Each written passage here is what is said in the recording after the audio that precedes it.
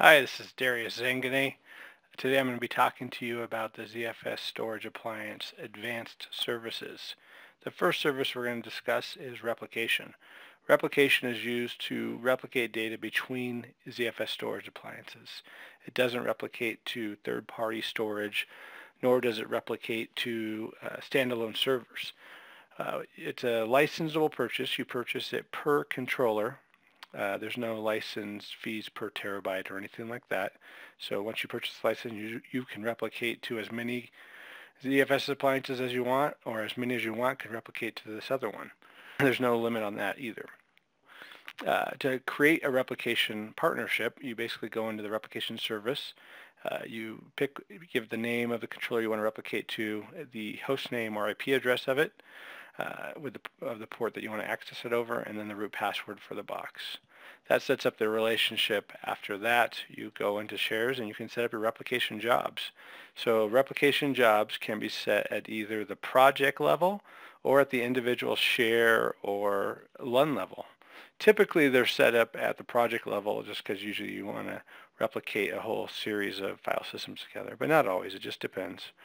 Uh, so once you're inside a project, you can just simply click on the replication tab, click the plus, and then you choose the specific settings you want in you know regards to what array you want to replicate to, what pool, how much bandwidth you want to use, if you want to put a limit on it or not, uh, whether or not you want to use SSL, uh, if you want to include snapshots that are on the box to be replicated as well, so you can restore from those in the remote site, you can do that. And then there's two types of update frequency available.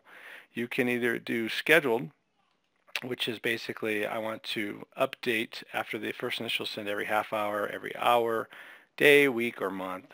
Uh, and you can create multiple schedules, by the way. You're not limited to just to one, so you could have a couple different ones if you want to do that. You can also use another mode called continuous mode. Continuous mode will keep the storage uh, replica, replica up to date as soon as it, as it possibly can. So that's replication in a nutshell. Next, we're going to move on to snapshots. So snapshots are another advanced service feature of ZFS. There's no um, service to turn on or anything to set up inside the configuration services tab. It's just always there. It's always on. On either the directory or the share level, again, you can take snapshots. These are point-in-time copies. So initially, when you first take them, they take no extra space. Uh, the only time they take extra space or unique space is when something changes since the snapshot was taken. Um, the way you take a snapshot is simply clicking the plus and saying, let's take a backup. There we go. So it instantly took the snapshot. It's now available.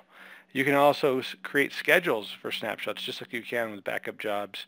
You can see here for this this project home directories, we have a schedule set up that, takes a snapshot every day at 1 a.m. in the morning and is keeping 30 of them. So that way we would have 30 days of backups on this snapshot.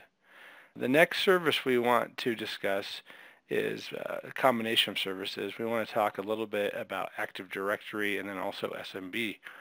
Active Directory is the way we authenticate Windows users that are coming in over the SMB protocol. So to add Active Directory into the ZFS storage appliance, it's really simple. You click Join Domain, put in the domain credentials, and hit Apply, and then this will join the domain. And now we can go in and get user credentials and then apply them to file systems within the ZFS storage appliance. Uh, one of the other neat features about Active Directory and SMB is another service we have called AutoHome, which is under the SMB service. AutoHome gives us the ability to create automated home user directories on an Active Directory server. So what happens is you set up a share, you come in here and put a rule of what share you want to use, and then this uh, ampersand sign means to use the username. And so what will happen is it creates a folder uh, for each user. Uh, it allows Active Directory to do this. So you go into the Active Directory accounts, and a good AD admin can do this pretty easily uh, go in and fill these fields out for all their users, you know, with one script, pretty simple.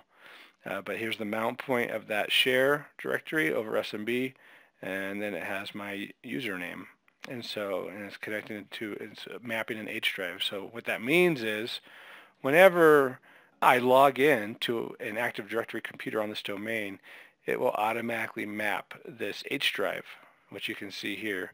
Um, so I can open that up and there's my H drive, there's my home directory. So it's actually going to a folder, but it doesn't allow me to see all the other users' folders either. So that's all automated into the setup.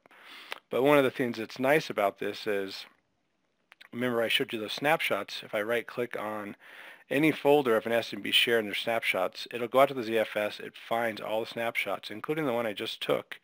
Uh, and so I can easily open that up. I can drag and drop files uh, from the snapshot itself um, uh, and do self-user restores very easily, which is a nice feature of the snapshot feature. Something else that's interesting is uh, you'll see over here, uh, it says that I have 564 gigabytes of total size, which, which you might think, well, that's a weird home directory size. That functionality is made available via quotas. So that's another feature you can take advantage with the SMB protocol is setting quotas for individual users. You can do it for other protocols as well, such as NFS.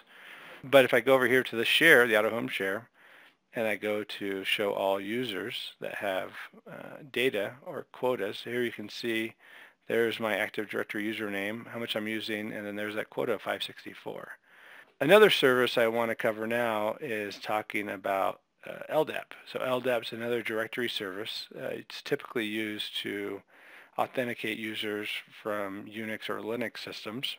It all it works with our NFS protocols, NFS4, as well as protocols such as FTP, HTTP uh, ser file services. So you can authenticate users on any of those different protocols. In our case, our Active Directory server is actually uh, the Active Directory server as well, and so we're just using it as our native LDAP server. Well, thanks so much for your time.